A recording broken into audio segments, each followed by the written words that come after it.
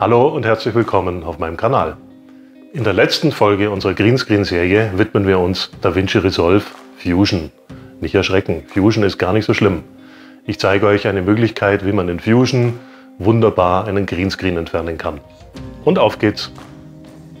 Wir befinden uns innerhalb von DaVinci Resolve 17 noch auf der Edit Page. Das sind die beiden Clips. Beide vor einem relativ sauberen Greenscreen aufgenommen und noch nicht bearbeitet. Jetzt fügen wir einen Hintergrund hinzu. Dazu schieben wir das Videosignal eine Ebene weiter hoch und packen uns den Hintergrund. Hintergrund ist eine Grafik in dem Fall. Momentan sehen wir natürlich noch keine Änderung, weil wir noch nichts bearbeitet haben. Bevor wir zu Fusion gehen, wählen wir die beiden Clips an, drücken die rechte Maustaste und wählen aus New Fusion Clip. Und jetzt klicken wir unten auf Fusion. Dann haben wir schon einen kleinen Node Tree, Media in 1. Den schauen wir uns mal an, indem wir uns den auf der linken Seite darstellen lassen. Das ist unser Hintergrund. Dann benennen wir den gleich mal um.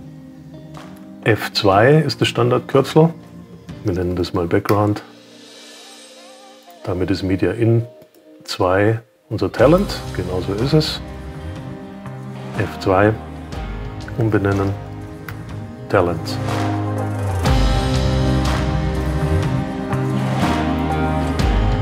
So, schaffen wir uns mal ein bisschen Platz. Wir wählen unseren ersten Node an, drücken Shift und die Leertaste und geben das Stichwort ein Kia. Jetzt haben wir hier mehrere zur Auswahl. Chroma Kia, Delta Kia, Difference Kia, Luminanz Kia, Luma Kia, Ultra Kia.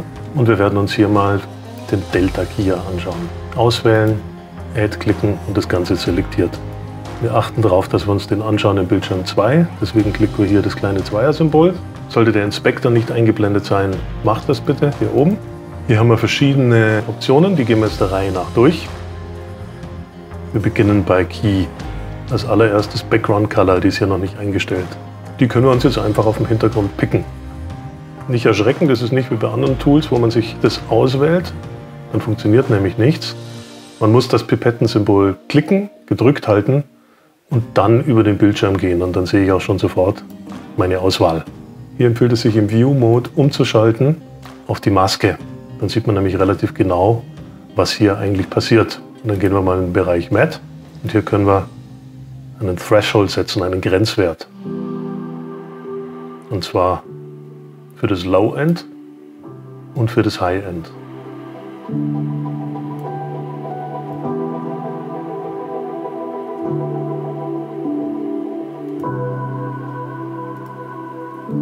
Und dann klicken wir auf unseren Merge, schalten den auf unseren Bildschirm und dann können wir sofort die Wirkung sehen, wie unser fertiger Key aussieht oder unser Key in Bearbeitung vielmehr aussieht. Und auch der, der ist gar nicht so schlecht für das, dass wir den ganz schnell mit zwei, drei Klicks einfach gemacht haben. Jetzt kann man natürlich noch eine Menge Dinge einstellen und bearbeiten. Es gibt die sogenannte Pre-Mat, also bevor es in die Bearbeitung der Mat geht, könnte man hier jetzt noch eine Soft Range definieren für einen weicheren Übergang. Man kann das Bild erodieren und man kann es ein bisschen blurren. Seid vorsichtig mit dem Blur, weil der ganz schnell unschöne Ränder formt. Dann haben wir hier auch nochmal den Bereich der Matte, in dem wir vorher selber schon mal drin waren. Auch hier kann man einen Blur mit hinzugeben. Hier kann man den Vordergrund säubern. Seht ihr das hier dran? Ich schalte nochmal um in den Matte-Bereich, da sieht man es ein bisschen besser. Clean Foreground, seht ihr, was passiert?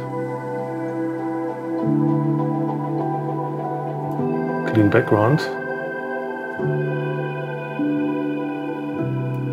Und durch die Kombination dieser Parameter kann man das relativ gut einstellen. Im Bereich Fringe kann man einen Spill Suppressor noch mit einschalten. Der ist momentan ausgeschalten. Da gibt es verschiedene Wirkungsgrade, was man machen kann angelehnt an die Steaks Rare, Medium, Well Done und Burnt. Nehmen wir mal Well Done. Da gibt es noch den Bereich Feintuning. Dort kann ich die Kurven der Masken einstellen, aber da müsst ihr euch selber einfach mal ein bisschen spielen.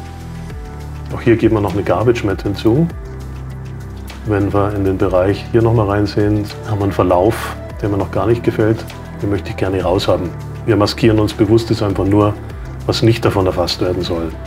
Und zwar mache ich das gerne so, ich gehe in den Merge Node und wähle mir hier das Polygon Tool an. Und dann beginne ich hier drin meine Mat zu erstellen. Muss ich lediglich darauf achten, dass nichts abgeschnitten wird. Ihr seht ja schon, der Hals von dem Bass, der geht ab und zu rüber. Also jetzt den kompletten Clip ansehen, gucken, ob alles innerhalb der Garbage Mat ist. Und fertig ist die Logge. Und natürlich kann ich jetzt hergehen und ich könnte den Hintergrund separat bearbeiten, könnte den dunkler machen, könnte den blurren, könnte den Vordergrund nochmal separat farbkorrigieren, wie auch immer. Da sind eurer Fantasie keine Grenzen gesetzt. Das war Teil 3 unserer kleinen Greenscreen-Reihe. Color Keying in Resolve in der Fusion Page. Das war's. Ich hoffe, es hat euch gefallen. Wenn dem so ist, lasst mir gerne ein Like und ein Abo da und vergesst die Glocke nicht. Ich freue mich auch über Kommentare und weitere Anregungen. Also, bis bald. Wir sehen uns.